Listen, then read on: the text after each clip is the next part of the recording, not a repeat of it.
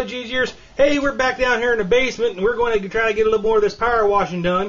Uh, I ain't done much at all since the last video I did. Um, yeah, it's been cold outside. Haven't felt like going much.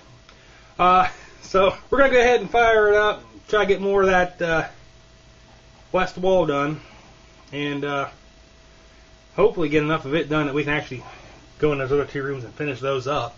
Uh, I got I got some I got most of the holes plugged in on them, so or the one. So uh, I'd like to start getting some wood down here and start getting some uh, some stuff done. Maybe get those two rooms finished and then get the stuff moved out of the big room into those small rooms and you know have a little bit of room to work. But uh, so we're gonna try to get some of this done today. Uh, now I'm not gonna I'm not gonna record it. I'm not gonna show you all the video of it. Uh, you know, battery just runs dead. Uh, I'll probably show you a picture how far I get. Um, right now, it looks pretty much the same as it did at the end of the last video. So, we're going to try to hit it up, knock it out, at least hopefully some of it. Uh, it's warm enough outside that the heater ain't kicking on, so I don't have to worry about that. Well, there you go, guys. Basically, I got all that in here done. Uh, yeah, it's all above ground, so I'm not going to worry about the, what's left because it's it's all above ground where it's left, guys. But here's the corner back by the furnace. Got a little bit there that I missed. Kind of hard to see back in there though, because there's no light. Uh, so, you know, I hit it with a preliminary hit.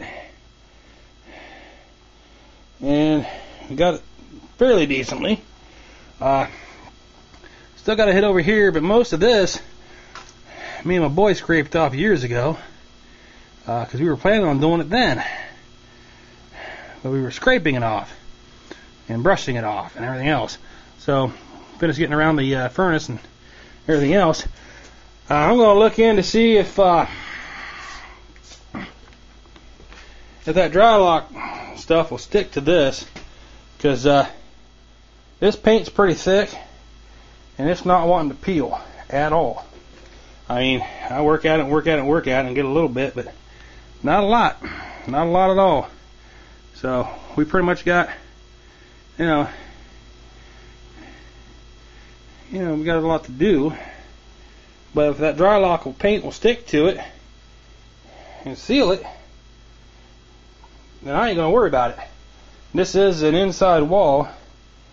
This is not a wall that's going to be exposed to the outside. Now it's not saying water can't sneak in through there because that corner right there, that's on the outside.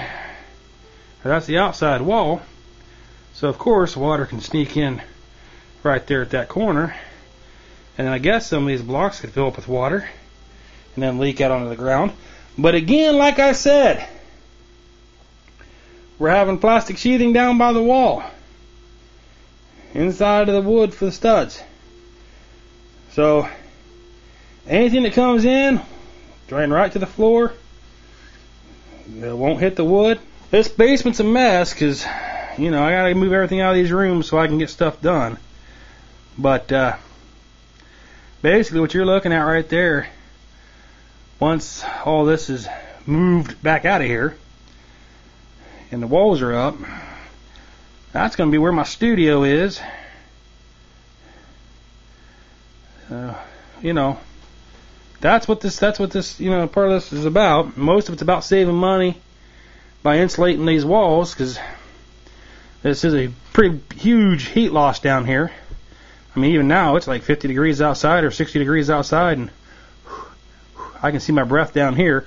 That's partly because due to all the water in the air because of running the, uh, the power washer. So I'm sweating my butt off. Uh, that's going to be it for this video.